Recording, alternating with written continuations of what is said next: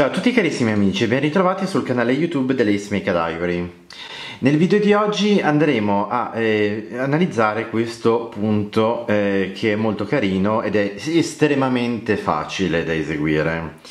Innanzitutto eh, vi volevo far vedere eh, appunto come eh, risulta eh, la fine che abbiamo analizzato nel video precedente e queste sono le paia che eh, sono eh, sospese.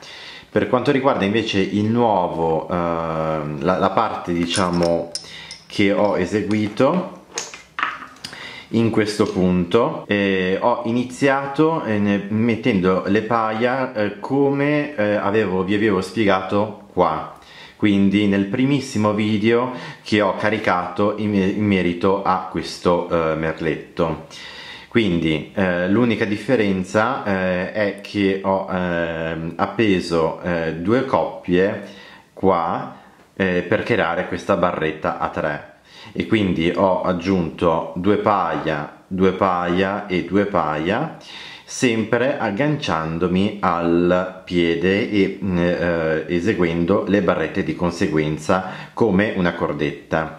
L'inizio è speculare a quello già eseguito in precedenza. La lavorazione che vi propongo oggi è questa qua ed è molto semplice. Si ottiene praticamente un quadratino vuoto con dentro eh, praticamente la rete, quindi la rete con il buchino. Secondo me è molto bella, è molto elegante ed è davvero semplicissima.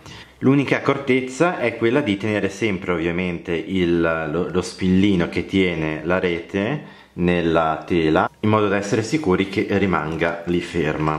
Dunque, Ehm, io ho deciso di fare eh, praticamente di distanziare questa lavorazione contando 4 spilli. Quindi conto sempre 1 2 3 4 faccio la lavorazione e poi 1 2 3 e 4 e ricomincio a fare la, la nuova lavorazione. Quindi lavoro 5 paia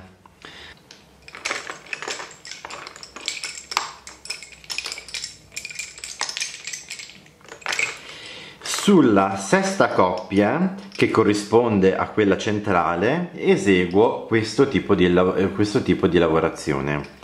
Quindi, come per la rete, che avrete già visto in, nel, mio, nel video dedicato a come eseguire perfettamente la rete classica di Cantù, la, la rete classica eh, con il buchino, si esegue in questo modo. Eh, attorcigliamo due volte sia la coppia verticale sia il portante. Eseguiamo un mezzo punto quindi eh, incrociamo i centrali prendiamo uno spillino lo andiamo a posizionare in mezzo a queste due coppie in questo modo proprio come se stessi facendo la rete. Cerchiamo ovviamente di posizionare lo spillo in mezzo alla tela per fare in modo da convergere tutta eh, la lavorazione sempre al centro. Dopodiché attorciglio due volte entrambe le coppie ed eseguo un mezzo punto, quindi incrocio i fili centrali, in questo modo abbiamo eh, completato me, eh, diciamo il, il, punto della rete. Quindi la coppia che ho nella mano destra l'abbandono che è quella che poi scenderà come verticale. L'altra è il mio portante quindi attorciglio due volte e poi continuo a lavorare. Lavoro a punto tela tutte le paia che sono ovviamente 5 coppie perché la sesta è quella che abbiamo lavorato in centro. Eseguo il mio piede.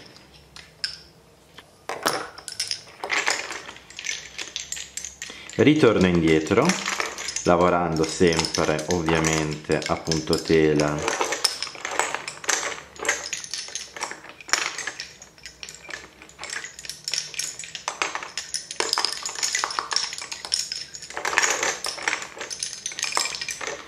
questo punto che sono arrivato eh, dove alla coppia eh, che ha lavorato eh, diciamo eh, questo motivo la torciglio due volte, questo perché ovviamente il punto deve crearsi sia sopra che sotto, come esattamente questo.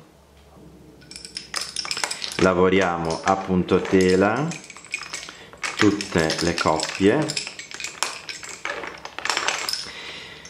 cerchiamo di tendere bene la lavorazione e i fuselli perché ovviamente mh, mm, questa lavorazione crea uno spazio nella tela e quindi dobbiamo eh, cercare di eh, tirare bene le paia eh, in modo da uniformare la lavorazione. Questo si fa soprattutto nei successivi giri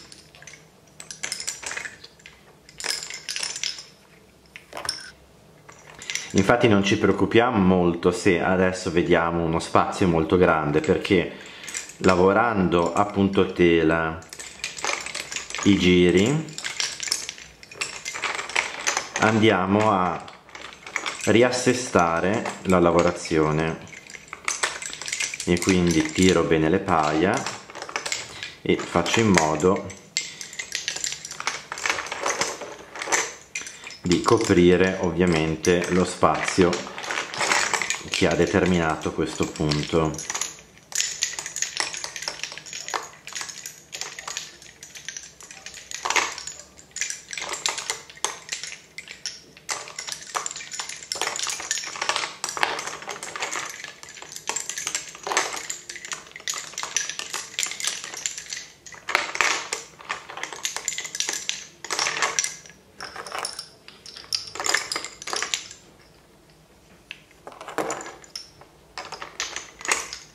ritorniamo indietro. Lavoriamo come di consueto.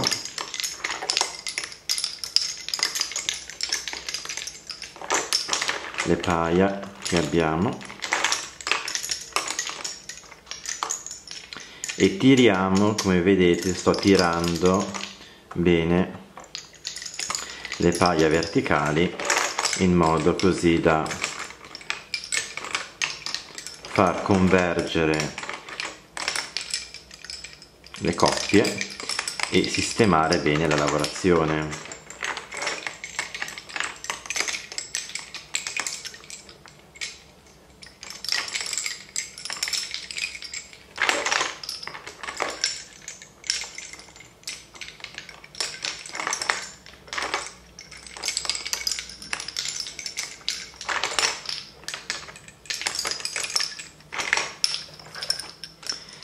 anche qui faccio il mio del piede. Come potete vedere qua abbiamo già recuperato e eh, adesso man mano che si esegue il punto tela si, si, chiude, si chiudono gli eventuali spazi che si possono creare. Adesso qui devo fare la barretta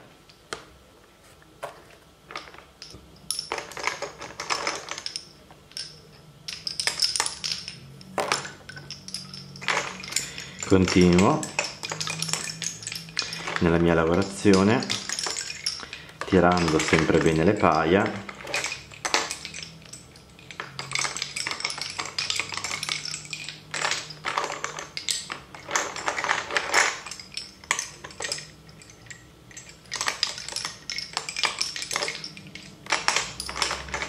E come possiamo vedere questo punto che secondo me è molto bello, molto carino ed è anche molto elegante.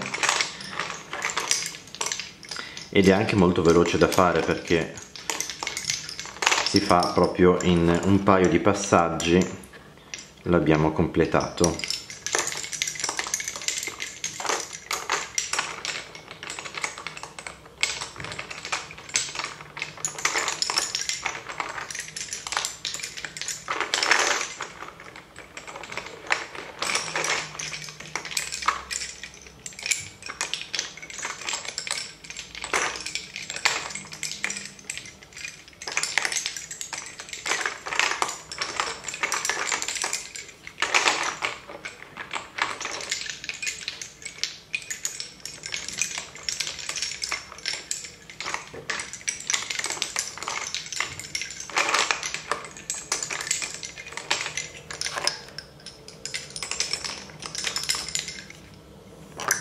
devo fare ancora un altro passaggio per poi poter ricominciare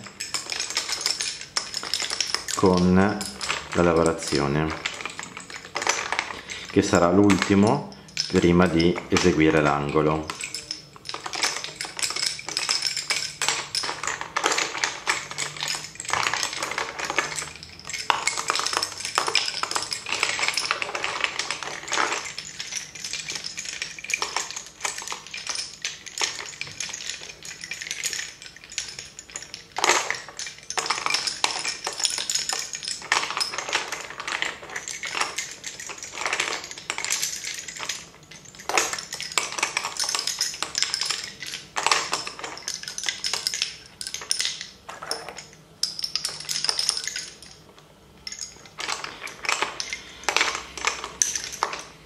Ebbene, il punto è completato.